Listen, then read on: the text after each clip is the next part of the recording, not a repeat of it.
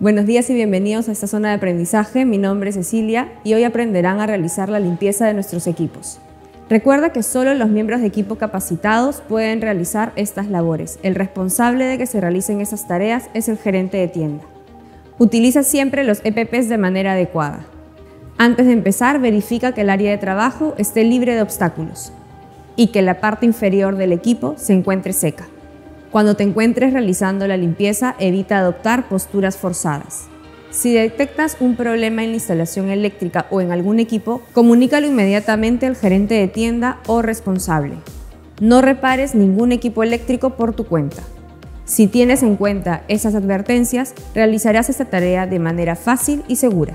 Les presento a Max, quien les enseñará paso a paso cómo realizar estas actividades. El retardador debe limpiarse todos los días. Para esta tarea requerirás los siguientes equipos de protección personal EPP. Guantes de vinilo,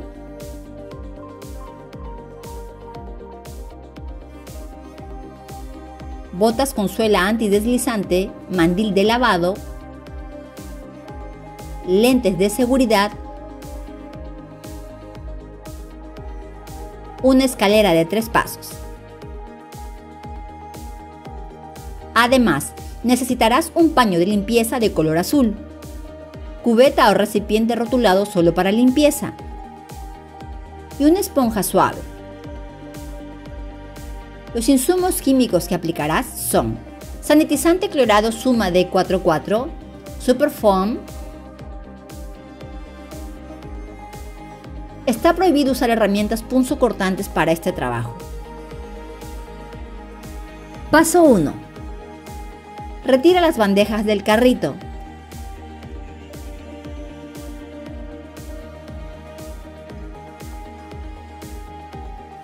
Llévalas a la poza para lavarlas de inmediato con Superfoam y con la ayuda de una esponja suave, siguiendo los pasos de lavado. Paso 2. Retira los residuos sólidos, lava la bandeja en la poza 1, frotando con una esponja suave para retirar la acumulación y suciedad. Enjuaga en la poza 2, sanitiza en la poza 3, deja remojar por 5 minutos, deja secar al aire libre.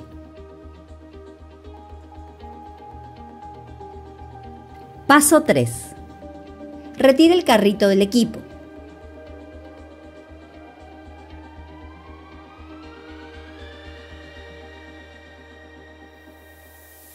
Paso 4.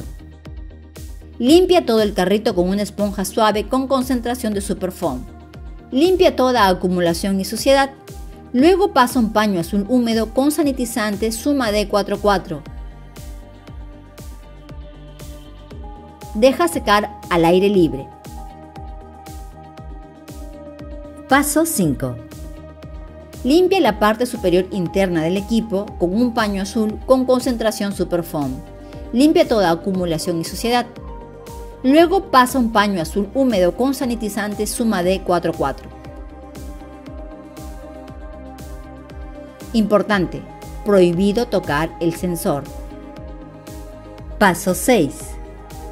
Limpia todas las paredes internas y la base piso del equipo con un paño azul con concentración de Superfoam. Limpia toda acumulación y suciedad. Luego pasa un paño azul con sanitizante Suma D44.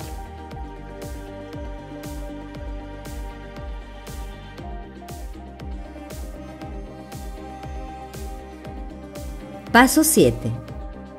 Revisa el estado de las empaquetaduras de la puerta.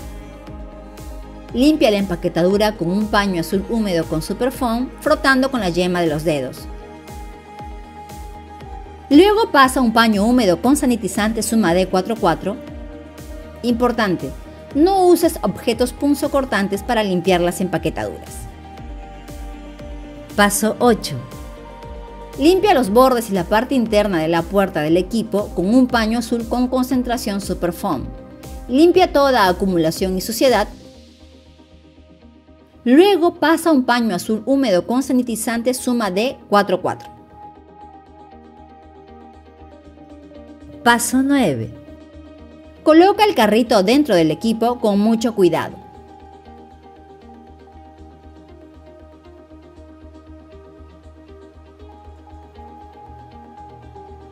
Paso 10. Coloca las bandejas en el carrito según el orden que corresponda.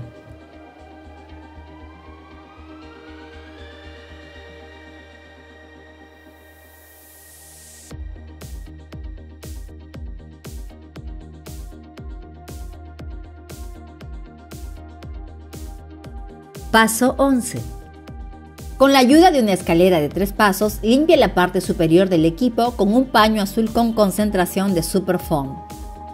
Limpia toda acumulación y suciedad. Luego pasa un paño azul húmedo con sanitizante Suma D44. Paso 12. Limpia la parte externa de la puerta, manija y bisagras con un paño azul con concentración de Superfoam. Limpia toda acumulación y suciedad. Luego pasa un paño azul húmedo con sanitizante Suma D44.